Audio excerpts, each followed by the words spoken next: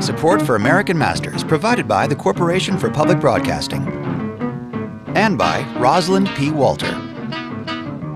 Judith and Burton Resnick. Cheryl and Philip Milstein family. The Vital Projects Fund. The Lillian Goldman Programming Endowment. The Blanche and Irving Laurie Foundation, Seton J. Melvin, the Philip and Janice Levin Foundation, Ellen and James S. Marcus, the Andre and Elizabeth Kertész Foundation,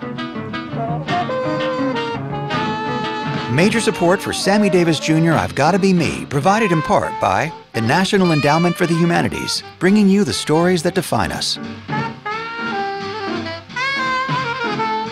Original funding for this program provided by the Maslas Maisler Foundation, the Anne Ray Foundation, and by contributions to your PBS stations from viewers like you. Thank you.